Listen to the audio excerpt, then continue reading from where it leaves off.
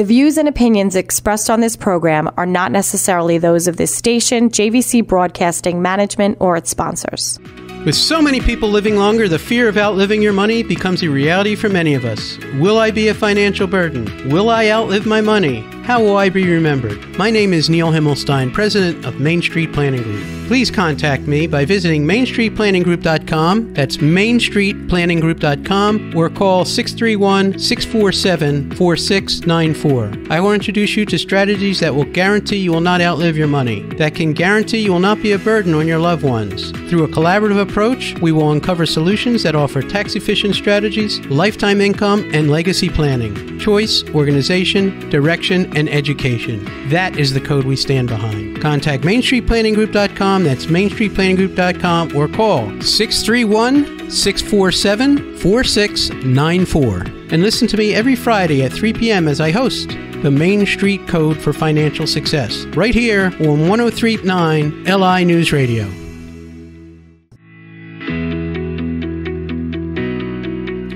Good afternoon. Welcome to the Main Street Code for Financial Success. I'm your host, Neil Himmelstein. You can always reach me at 631 647 4694 or visit me at themainstreetcode.com. Well, when we talk about our code, we talk about choice, organization, direction, and education. And we work with hundreds of advisors across the United States financial advisors with their, their insurance, as a wholesaler, uh, and accountants and attorneys that reach out to us, whether it's a buy sell agreement or they need to change and put your policy inside a trust or all these kind of different things insurance related.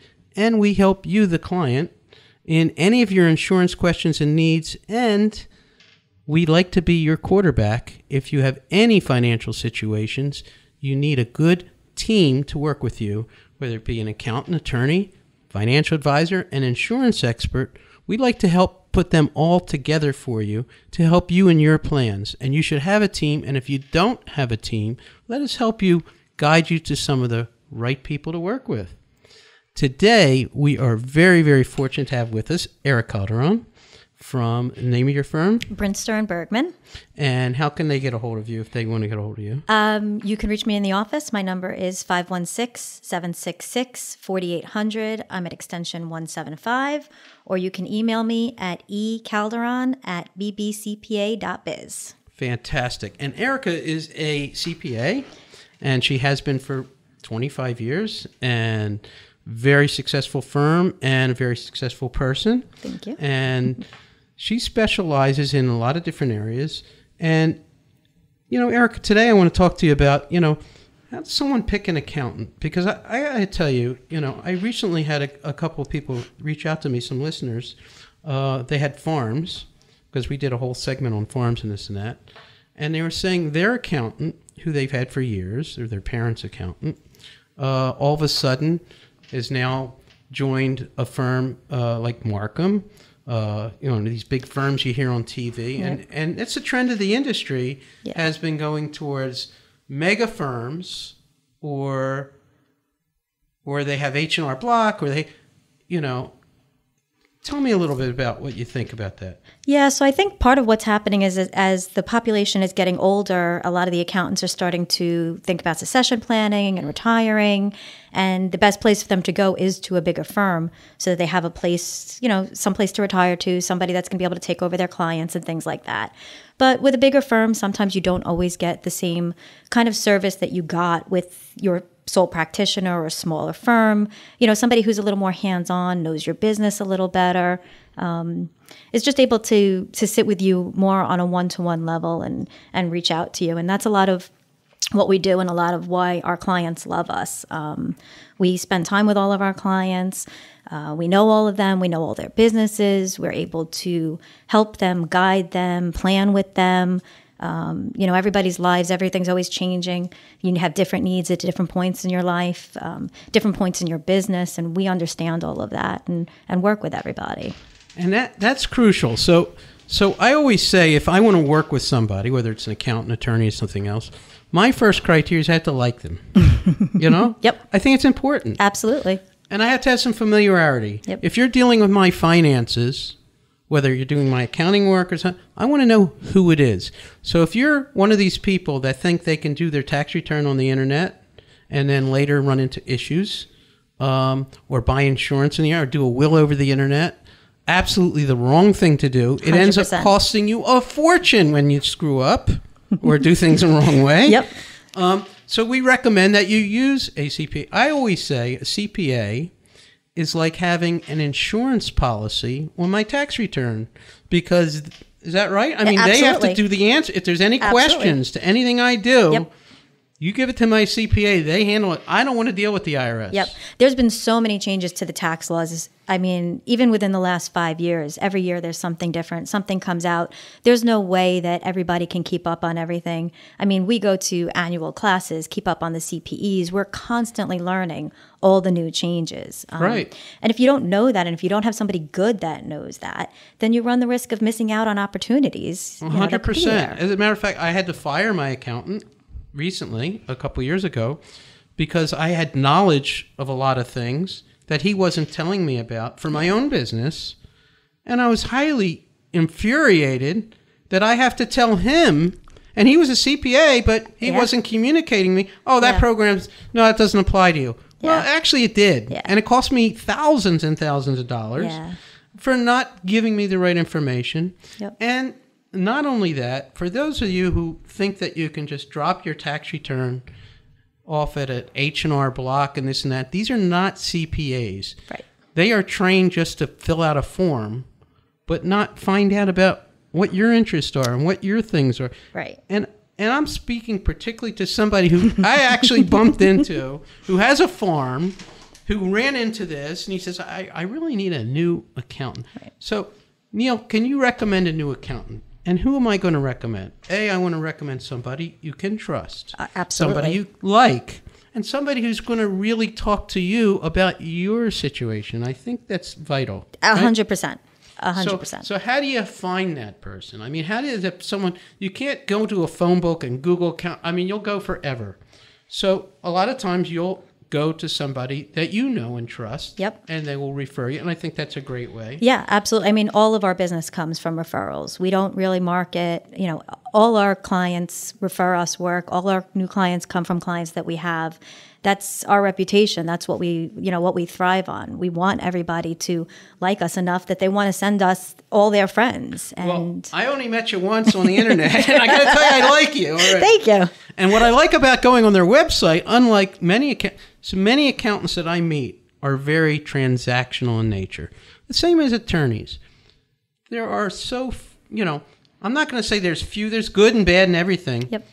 But even doctors, you know, who are the best doctors? They're not the best technicians, Right. Necessarily. They got to have a bedside manner. Absolutely. They have to tell you what's going on. Yep. I mean, I had a doctor who was technically one of the best doctors for what I needed at the time. And luckily, I had doctors behind the scene. Had the worst bedside manner in the world, but it was okay because I had my backup. yep. But I got to tell you, you got to keep people informed as to what's going on. I think it's Absolutely. so vital. And you have to work with people that are going to work with you and be part of your team. Yep. It's your finances that you're dealing with, not theirs. Yep. Absolutely. A Right? hundred percent. Right. So the perspective of how to pick an account is you want first. I like to work with people that I like. Mm-hmm. Second qualification, I like to work with people that I trust. Yep. So like, trust, and when it comes to me, I want to know that they're not going to go behind my back. I need to trust them, Yep. and I'll ask them up front if I can't trust them or if I think they're going to run away somewhere else. Then that's no good. Right. So you have to like and trust who you work with. Absolutely. And Erika, I like and trust immediately Thank you. and Erika was referred to me by an attorney who I like and trust, who's been on my radio show, Yep. who people have called in afterwards, and we're working with together yep. on their estate plans. Yep, and she's a great person, and she and I actually work together also on estate and trust planning because I also do some trust work too. And that's so, huge. Yep. So, you know, we get involved with the trust with life insurance and everything else. So, so I think it's very important because, you know, one of the great things about life insurance, it's a very tax efficient vehicle. Yep. Um, A, for businesses, it gives you a lot of leverage where I can secure something so that my children or my partners can be paid off and it can stay in my family. Yep. And B, uh, it's tax deferred. And C, I could set it up as a pension, my own private pension, where I Yep. could take money out tax free. Yep. I mean, it's all these great advantages. Yep. And having an accountant that understands that and knows that and works with the pro, I don't like. I hate people that are product salespeople. Right. You want to be a planning person. Right. You need to. Everything's got to work for you in, in integrated plan with with the accountant. Absolutely. And tax planning is also so important. And it's something that we do with every one of our clients. Absolutely. Yep. Well, you're listening to the Main Street Code for Financial Success, and my guest is Erika Calderon. How can they get a hold of you, Erika? Uh, you can call me in the office, 516 766 4800, extension 175. And you can always reach me at 631 647 4694 or themainstreetcode.com.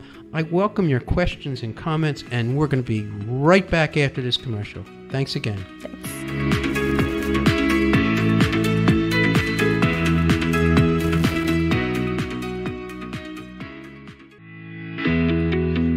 Welcome back to the Main Street Code for Financial Success. I'm your host, Neil Himmelstein. Again, if you need to reach me, 631 647 4694. And I'm with Erika Calderon. She's with Brinster Bergman. And Bergman. I'm sorry, I don't have my notes in front of me. and That's I, all I- I, I can't even remember my last name sometimes, so so it's all good. And Erika's a, a CPA with a a, a, a a firm that does a wide variety of things. Um, they're the kind of firm I like to work with because they work with people, and they're not just there for that one time you do your taxes. They're f- there for you all year round. If you have any questions, any Yep. situation, should I buy a car? Should I lease a car? Should I buy this equipment? Should I lease this equipment? Uh, I need to put a buy sell together. How do I do that? Yes, you can talk to us, but talk to them. Yep. You know, there's forensic account. There's all kinds of things that go in, so it's very important. Yeah. And some of the areas they specialize are particularly um, every CPA firm. Uh, they have sometimes they have niches. Like I have niches. There's certain areas that I'm an expert in Yep. because I start working with specific clients in a certain area, and all of a sudden that balloons into a whole nother area of expertise. For Yep. instance, Yep. you may not know this. I do back office work for 250 fire departments Very nice. and doing annuity work. Okay. So I know a lot about annuities, and they rely on me to, to give them advice on what's the best annuity for these fire departments, and and I act as a vendor for them, and I get them the right product. So that's that's an area I've done. I've also done some work with some farms on Long Island, mm-hmm. and we had the Farm Bureau here, and we talked about the the president of the Farm Bureau spoke a couple times. He's a he's a listener and love the guy. And you know we're doing some work with with farms. They have some unique issues and problems Yep. um, like every industry has unique issues and areas that you need to understand. So Uh-huh. sometimes I don't know everything. I like to bring in accounts. I like to bring attorneys. I want to bring in the people that are experts in whatever area you're in. Yep. And one of the areas you specialize is healthcare. Yes. Tell me a little bit about that. So, particularly, we specialize in home health care and agencies and issues that are related to those agencies. So, the agencies are so important, um, especially as the population is aging. We want to be able to keep our parents and our grandparents at home, have them be taken care of, not go into a facility. And home care agencies are so vital to that. Um, and their owners are there because they really want to help the population. So, we, you know, it's an area that I, I hold near and dear to me because I feel that they're all doing such a great job for the communities that they're in. And um, a lot of what we do is we help them with um, reporting requirements that Department of Health requires of them. Um, we get involved in um, legislative things that they need to work on, such as wage parity, which is a big issue that's been out now. Sure. Um, we get involved with um, lobbying for the state budget with them and you know any other accounting work that they might need tax work financial statements audits um, So important. Yep. So, as I've said on many, many programs, and, and everyone knows I'm a big advocate for long term care insurance and different types of long term care insurances. Yep. And I want to repeat it because you need to understand that this is something you need to plan for. absolutely It's two out of three, 70% of every person in New York, in the United States, by percentage, over the age of 65 will need some sort of long term care. Yep. Now, staying at home is the best option. We all want to stay at home if we can. Absolutely. And it's so important.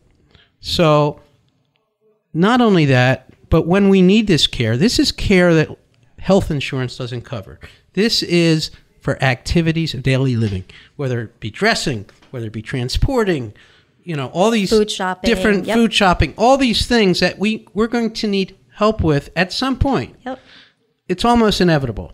Now, once we have a parent or a relative or it could be, you know, Siblings. it could be somebody at 50. Yeah. And believe it or not, mental, Yep. Alzheimer's, Yep. mental issues, when the claim side is over 51% of all the claims is due to mental, not just physical. It's not like, oh, I broke my hip. It's a lot of mental, long term Yeah. mental issues. Yep. Forgetting things, people can't drive anymore, or they drive and they drive off into space and Yep. keep going. Yep. like I do sometimes. It's not good. uh, we don't want to talk about that. Um, but at the end of the day, uh, it's a huge, huge issue, and it's a very expensive issue financially. Yes. So the other thirty percent of us, whether we're caregiving for an, a parent, or a sibling, or a spouse, uh, is affected Yep. financially Yes, absolutely. emotionally, Yep. and everything else. So the home care agency side of it fits in well with where I'm at because we want to keep everybody at home. Yep. Yes, we want to pre-fund it with some sort of insurance planning, Yeah. if we can. Yep. Uh, if not, there's legal planning. Yep.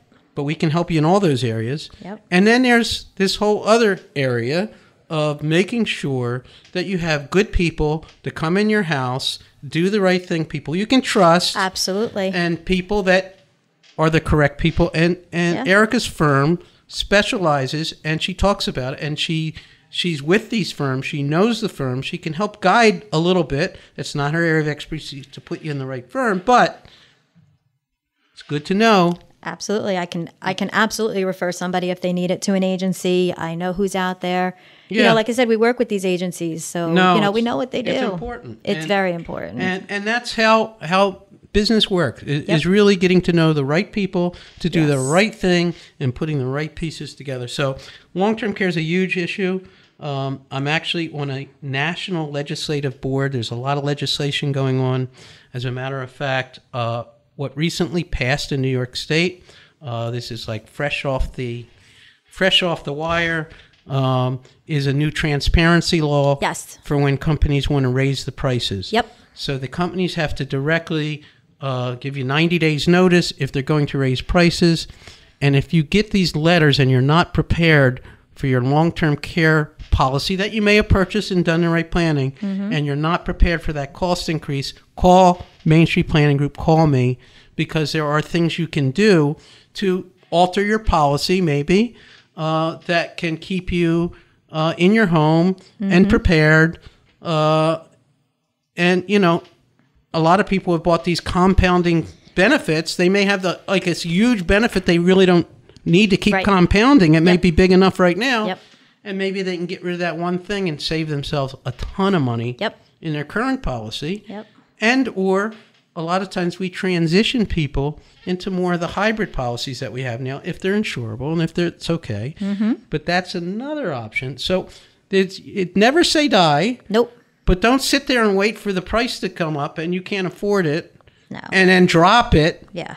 which is the worst thing because then next month you need it, or next year you need it, or in two years you need it, and then you'll really see the money go. Right. Um, Yeah, absolutely. So, so Very important. important. But anyhow, New York did pass that.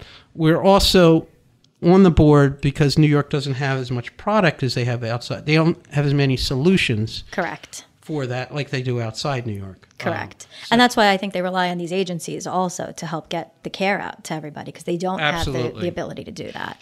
So there's a lot going on in that world, and there's a lot going on in that world from a governmental standpoint.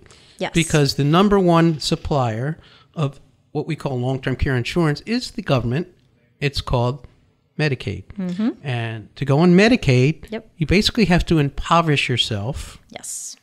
But you can plan for that. You can plan for that, plan and there are that. legal moves for that. Absolutely. And New York is heavily reliant on Medicaid, and it's a big part of the budget, and the state and federal have to pay for that. Yep. And listen, you put it in their hands, they're going to dictate where you go, who you use, what you do, how many days a week, Yep. and this and that. Yep. You can control your own destiny by Absolutely. preparing ahead of time. So- Absolutely. and there's so much planning that you can do for it. absolutely. So much. And and that's kind of what we do. yep. So, um, in summation, you work and you also give courses to accountants. Yep. Yep. We do mostly in house courses for our staff, but we have done outside courses for which CPE is credits. which is great. I mean, they're they're experts in what they do.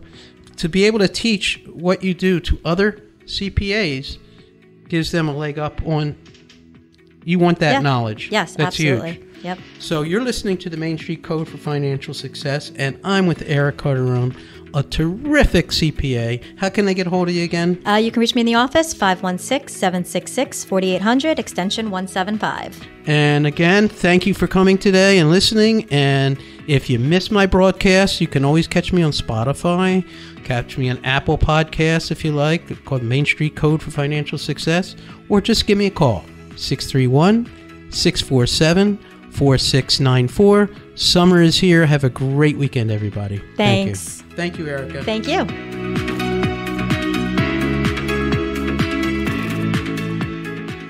The views and opinions expressed on this program are not necessarily those of this station, JVC Broadcasting Management, or its sponsors.